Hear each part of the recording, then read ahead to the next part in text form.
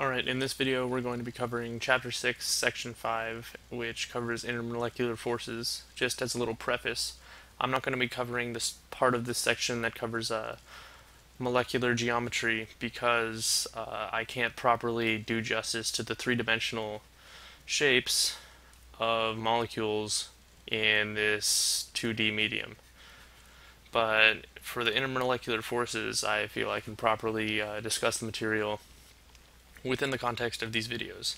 So let's get into it. Uh, first of all, intermolecular forces measure uh, interactions between uh, molecules.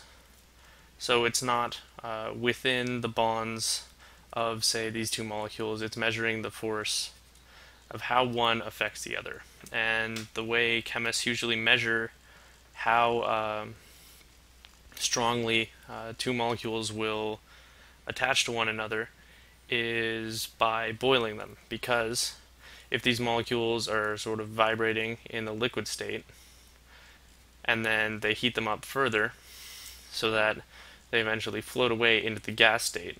Once they're in this gas state, they have uh, properly separated from all the molecules surrounding them, and they can measure the energy released by this and the amount of energy that it took to uh, get these molecules to escape in order to measure uh, how much force attach them to one another.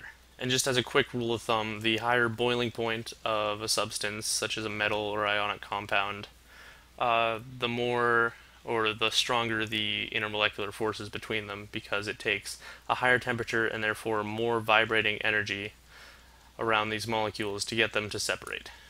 And as a general rule, you'll find that uh, metallic metallic compounds uh, tend to have the highest uh, boiling points, followed by ionic compounds, and then lastly uh, molecular compounds. Alright, so dipole-dipole forces are forces between polarized molecules, and uh, these polarized molecules are called dipoles, which are uh, molecules with equal but opposite charges on either end that are separated by a very short distance, usually the length of the molecule. And so how you would write a dipole is you would write the formula for a compound. Let's take uh, iodine chloride and you draw a sort of uh, Lewis structure with the dash in the middle representing the uh, bond and then you would write the positive at one end with an arrow extending towards the negative end. So in this instance, the dipole has a positive iodine, iodine uh, atom and a negative chlorine atom. And this is easy to remember because you can just look at the periodic table and the arrow will always point towards the more electronegative element. So if you have a bunch of dipole molecules in a solution or in a solid, uh, they'll orient themselves so that uh, their polar regions, which are charged, will uh, attract the oppositely charged regions of adjacent molecules. So these are very short-range forces, only affecting the adjacent molecules. You'll notice that uh, the negative end of this dipole over here isn't super attracted to the positive end of this one over here. And these short range forces only work between adjacent molecules and they're called dipole-dipole forces as written at the top. And they're responsible for a stronger bond than typical uh, intermolecular forces, which means that uh, dipole uh, compounds will tend to have a higher boiling point. For example, uh, iodine chloride has a boiling point of 97 degrees Celsius. Whereas if you were to take uh, diatomic bromine, which of course has an electronegativity difference of zero because it's the same element and therefore isn't polar, and doesn't have these dipole-dipole bonds, uh, it has a much lower boiling point of just 59 degrees Celsius. So iodine chloride is kind of a simple example of a dipole system because it only has one bond that dictates its polarity. If you look at a more complex molecule, like let's say uh, water, which we know has two hydrogens and one oxygen. When you look at the polarity difference, because oxygen is more electronegative, it'll tend to take away from the hydrogen electrons and attract them more towards the oxygen, so they spend more time over here.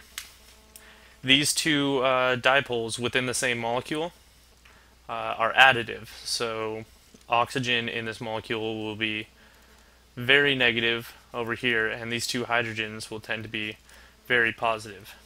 Now, the same thing is true with subtraction. If you were to have two dipoles oriented oppositely within a molecule, like let's say within carbon dioxide, which we know is carbon in the middle with two oxygens on either end. The oxygens, because they're more electronegative, will tend to orient a dipole uh, towards them, causing them to take uh, carbon's electrons more of the time than it will have them. However, because these two effects cancel out, the net dipole on this is zero. So carbon dioxide is a nonpolar compound. Some dipoles, however, if they're strong enough, can also uh, induce uh, slight polarity in otherwise nonpolar molecules. For example, in diatomic oxygen, if it gets close to a uh, water molecule, particularly the positive hydrogen dipole, uh, what will happen is that the electrons in the shared orbital will tend to spend more time over here, making this end negative and this end positive. Now, these, this doesn't make the oxygen molecule uh, completely uh, a dipole. However, it makes it polar enough where this oxygen molecule can then become soluble in water. So under the umbrella of uh, dipole interactions, there are some compounds that tend to have very high boiling points compared to uh, other similar compounds. And this is because those compounds tend to contain hydrogen uh, attached to very electronegative elements such as fluorine, oxygen, or nitrogen. Now, what happens is that because these elements are so electronegative, and hydrogen only has one electron, it almost gives up its electron entirely to these elements within these uh, bonds. And that leaves pretty much a lone proton and then what is almost a negative ion over here. So it's fluorine that has an extra electron most of the time connected to another proton.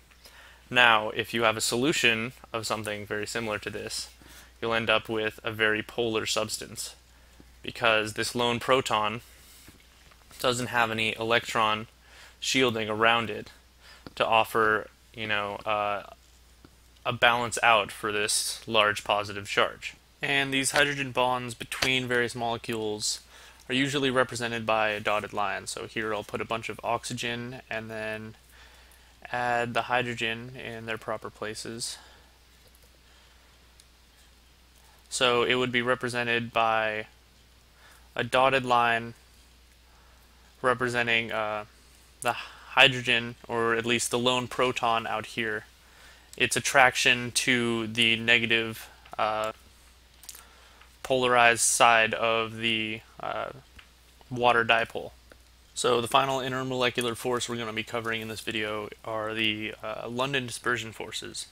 And the London dispersion forces occur in all atoms regardless of uh, whether they have a full octet or are highly reactive. And they're due to the random motion of electrons. So let's say we have a helium atom, we'll say that's the nucleus, and it has two electrons in the cloud around it. Now, because electrons are in constant motion and there's a certain uncertainty to their location, at any point this electron could be over here, or this one could be over here, or they could both be down here, etc. And what this means is that uh, the randomness of the electrons can cause a slight uh, charge on one end. So let's say this electron moved over to the right side. there would be a slight negative charge over on this side, leading to a slight positive charge over on this side, which would affect, say, an adjacent atom over here, causing it to be slightly polarized as well. Now this leads to uh, small attractions uh, between adjacent molecules. However, just as it can randomly form a dipole, it can just as easily disassociate into a neutral atom once again, which means that London dispersion forces are very weak and very temporary. And this means that things that rely on London dispersion forces to hold themselves together as uh, liquids, such as the noble gases like helium, argon, neon, etc., have very low boiling points because there's not much attractive force between them at all, only due to this small London dispersion force.